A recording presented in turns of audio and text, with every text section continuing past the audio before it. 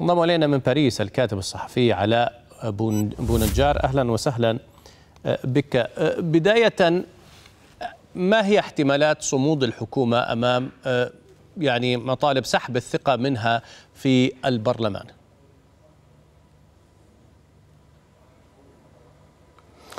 نعم في الواقع إلى جانب الحركة الاحتجاجية والتظاهرات ضد قرار الحكومة وقرار الرئيس الفرنسي المرور بقوة. هناك عدة وسائل يمنحها الدستور المعارضات معارضة المعارضة الفرنسية لإمكانية إلغاء مشروع قانون إصلاح التقاعد.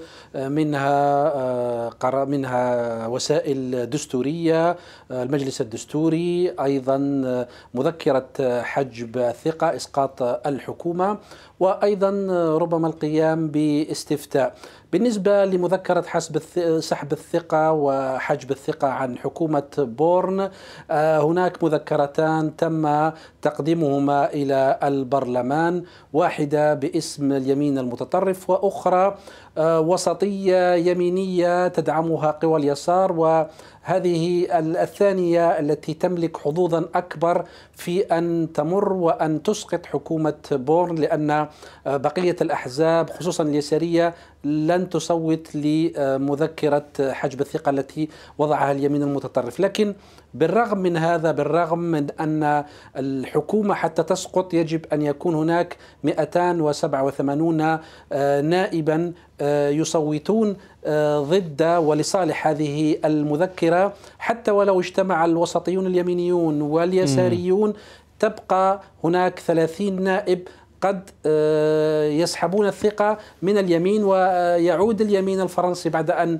كان ربما هو المفصلي في تمرير هذا القانون ولم يساعد الرئيس ماكرون. الآن المعارضة تعول أيضا على أصوات النواب اليمين يعني من أجل إسقاط الحكم. يعني تقصد بأنه هذه المظاهرات الإضرابات العمالية تؤثر على رأي النواب في البرلمان وتأييدهم للحكومة سواء في تمرير هذا القانون ومن ثم ربما غيروا رأيهم بسبب ضغط الشارع. هل ضغط الشارع فعلا قوي لدرجة تغيير رأي النواب في البرلمان؟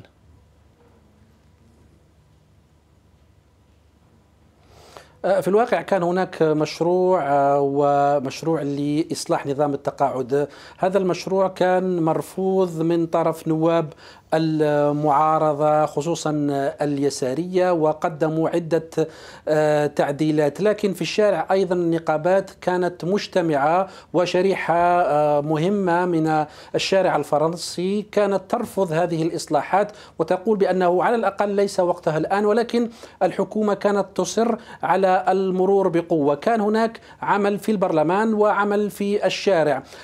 هذا كله رغم الاحتجاجات والتظاهرات لم يدفع الحكومة ولا الرئيس ماكرون للتراجع عن القانون. وحتى اللحظة الأخيرة كان يفاوض مع بعض النواب داخل البرلمان خصوصا من اليمين من أجل تمرير هذا القانون والتصويت عليه والقول بأنه فاز. حتى في اللحظات الأخيرة ماكرون كان مقتنع بالتصويت لكن يبدو أن نواب اليمين لم يكونوا جميعهم في يده فلهذا كأنه تغدى بهم قبل أن يتعشوا به وبالتالي قرر أن يمر بالقوة من خلال هذه الفقرة الثالثة من المادة 49 ويعتقد هو بأنها ربما قد تكون لديها انعكاسات سياسية ولكن ليس مثل الخسارة داخل البرلمان. طيب لهذا الضغط الاجتماعي الضغط المظاهرات وضغط النواب الآن نعم.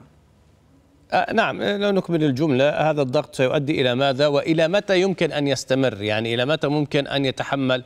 يعني تستمر باريس وفرنسا في هذه التظاهرات وهذه الإضرابات.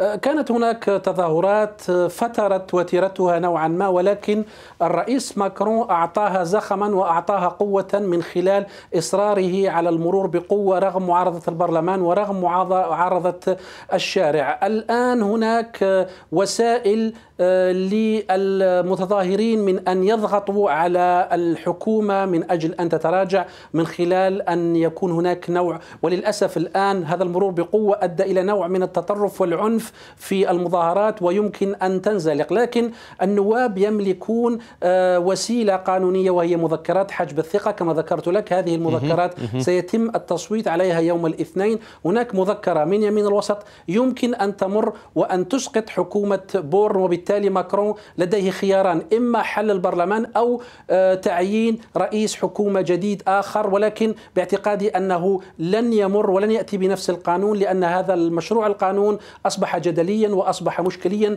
اللهم إلا إذا أراد ماكرون في نعم. من خلال تسلطه وعجرفته أن يستمر رغم معارضة الجميع فهذا مخاطرة سياسية بالنسبة لماكرون. ولكن حكومة بورن قد تسقط آه، ربما الاثنين.